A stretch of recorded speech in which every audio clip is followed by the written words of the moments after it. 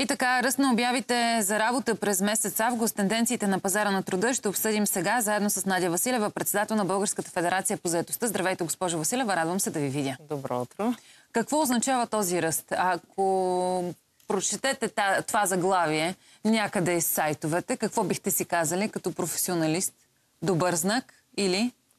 А, всеки ръст в търсенето на работа е добре за търсещите работа. Така. Но това е игра на цифри, защото ако се върнем към същото проучване през май месец, тогава отворените работни места са били с 15% повече.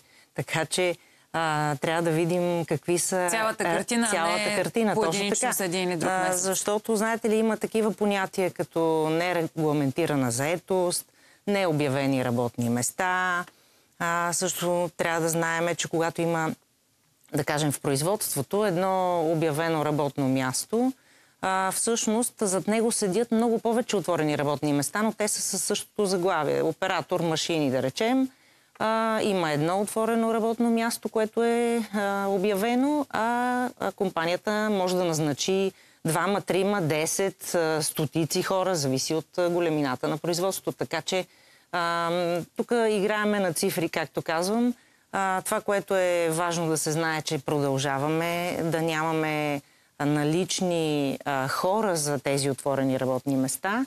И а, тъй като те не могат да бъдат изчислени а, коректно, а, според нас а, от а, Конфедерацията на, на заедостта, където членуват най-големите компании в областта на подбора и обученията и консултациите, има около 250 хиляди отворени работни места, които не могат да се запълнят. Това много ли е на база на нашата Абсолютно държава? Абсолютно много и аз съм убедена, че всички търсещи работа, ако вземат по едно от тях, ще има все още отворени работни места. Добре, каня ви тук на видеостената, за да погледнем към данните на Job Tiger. Всъщност тази тема излезе от техните данни. Знаем а, какъв е този сайт. Всъщност отразява а, търсенето на работа през обявите. Публикувани обяви в сайтовете за работа по дни. Виждаме август 2023 и август 2024 година. А, тук имаме вече известен пик се наблюдава. Тук е спада, между другото. Той е много осезаем на обявите за работа. Тук имаме пик и вече някак пак се отбелязва спад с леко покачване на финала. Махам се, за да видят а, нашите зрители а, какво се случва на финала на тази, на тази графика. 250 хиляди, казвате, непопълнени работни места. Поради каква причина е това обаче? Дали заради липсата на квалифицирани кадри от да, една страна или от друга страна разширяване на, на дейността? а, на една компания. Във всички случаи това е комплексно а, като състояние, защото а, хронично в България липсват кадри. А, тук а, гледаме само една част от отворените работни позиции, които са нали, между 45 и 50 хиляди, да кажем. Тъй като ако вземем най-големият джобборд в България, там в момента са около 38 хиляди. да кажем, в бюрата по труда са около 10 хиляди. Така че това са само част. Да не забравяме, че самите компании а, обявяват работни места и на техните а, кариерни сайтове в а, компаниите. Тоест към тези данни можем да прибавим още. Колко Определено. според вас като процентно съотношение има не а, визуализирани тук в данните, които имаме? Трудно е да се каже, защото има компании, които също пък не споделят отворените си работни места и се опитват да ги запълнят по някакъв друг начин, но важното е, че когато не успеят да ги запълнят, то тогава какво се случва? Работата се разпределя между хората, които са а, в, а, да, в предприятието или в компанията, което затруднява и затормозява работата. Проблема е, че когато Колеги, давайте няма, следващата графика. Да, когато няма а, свободен човешки ресурс, нали, ние имаме хора, които не работят, но те не търсят работа да. и ние не можем да разчитаме на тях, тогава трябва да има други механизми, като внос на хора от трети страни, който трябва да бъде разкрепостен, казвам, защото в момента е изключително трудно това нещо да се случи и да бъде подпомаган така че целенасочено там, където липсват кадри, те да бъдат осигурени. Любопитно е да погледнем към тази извадка отново на Job Tiger. Търговия и продажби увеличение с 6% броя на обявите по сектори. Здравеопазване, фармация 5,4%, 5,3% административни и други дейности, 5,1% на 100%, счетоводство, аудит, финанси, логистика и транспорт вече 1%, строителството е 0,9% mm-hmm. и оттам тук забелязваме една тенденция на отлив на обяви за работа.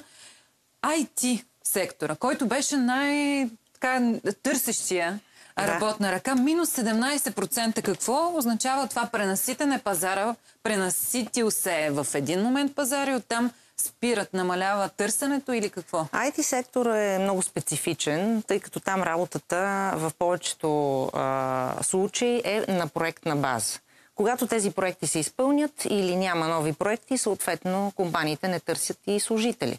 Но това е тенденция, която се забелязва тук в последните 2-3 години на такъв а, отлив или намаляване на търсене, но IT е сектор, където а, в повечето случаи се търсят а, служители с специфични умения и не е като производство при една обявена позиция да имаме много да. отворени работни позиции. Изкуство сега то е малко по-общо така определен този сектор, минус 12%.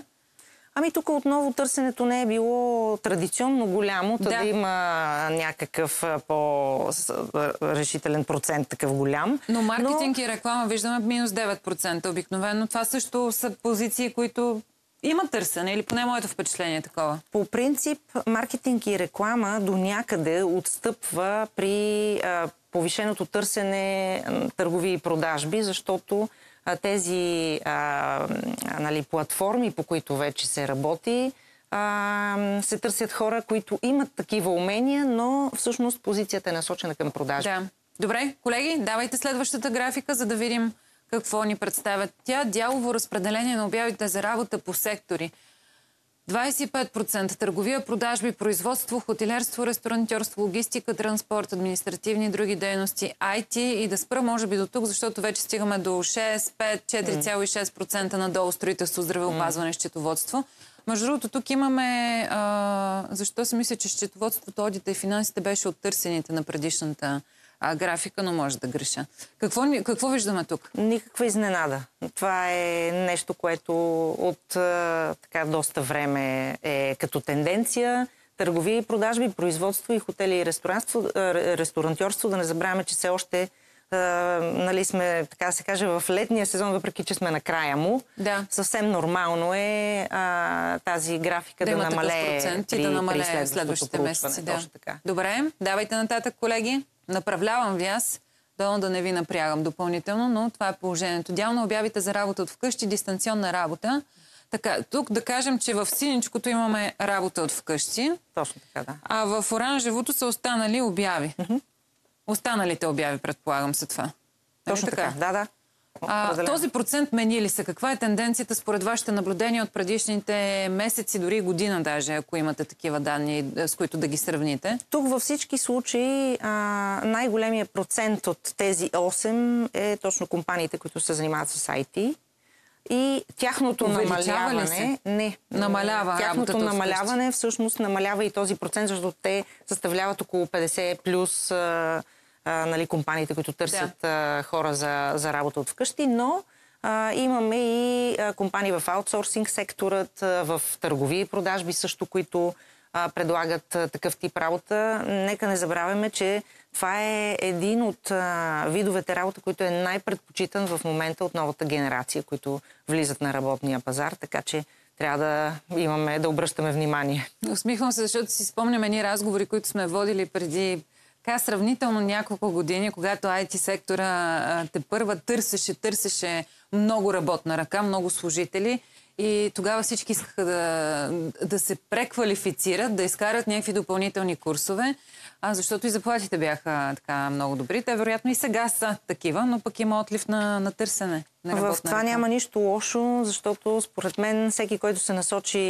в тази насока, няма да сбърка, тъй като изкуственият интелект се надяваме да навлезе, роботизацията също и непременно ще трябват хора, които да владеят такъв тип умения, качества да. и умения. Така че а, горещо съветвам всички, които се насочват към това, да, да имат предвид. Това ни е последната, колеги, Нещо превъртате по-бързо. Предишната графика, това ли е последната? Добре е. Дялово разпределение на обявите за работа по водещи областни градове. София, Пловдив, Варна, Бургас, Русе, Стара Загора. Виждате в червеното е София, Пловдив, Оранжево, Зелено, Варна, Синьо, Бургас, Русе, Стара Загора, Лилаво. А, всички останали са в синьо, като Русе в жълто, мисля, че не казах цвета. А, да. Виждаме 41% червено за София. Абсолютно логично някакси. Абсолютно. Столицата, най-голямо търсене с така най-много обяви. Така. Има ли нещо изненадващо обаче, защото пък виждаме Русе, е, областен град, да, но Стара Загора също. Във всички случаи а, от а, нашата конфедерация на труда ние имаме а, на 6 месеца правиме проучване, което всъщност регистрира нагласата на работодателите mm-hmm. да назначават или да освобождават хора или да задържат както са в момента. Това до някъде дава много по-добър поглед над нещата, защото да, едно е нагласа, друго е дали ще може да ги намерят тези хора, работодателите. Но горе-долу нещата се препокриват. Очевидно е, че София е с така най-високи стойности. И Варна и Бургас, така или иначе, това проучване очакваме да бъдат с намалени стойности, тъй като сезона вече сезона ще приключва. приключи. За сметка на, може би, някои други така, региони, но нека да видим. Много е любопитно за мен да видим останалите областни градове. Не само Русе, Стара Загора, Бургас, Варна, Пловдив. Една така, половината от тези градове областни, които са изследвани в данните на Job Tiger посочени, също са големите областни градове. Любопитно е да видим какви са тенденциите в по-малките областни да, градове. Да. А, надявам се да, да имаме и такава възможност а, с представени данни на някакъв малко по-късен етап. Отново да кажа, данните са на Job Tiger. Аз ви благодаря много за този разговор. Продължаваме да следим, разбира се, тенденциите. Оптимистичното, поне за мен, чисто журналистически погледното е, че безработицата все още е в ниски равнища. Така е. Така е определено и а, има много възможности за търсещите работа. Толкова възможности за търсещите работа не е имало до сега никога. Така че ако някой иска да работи, може да си намери работа без Благодаря проблем. ви много още веднъж.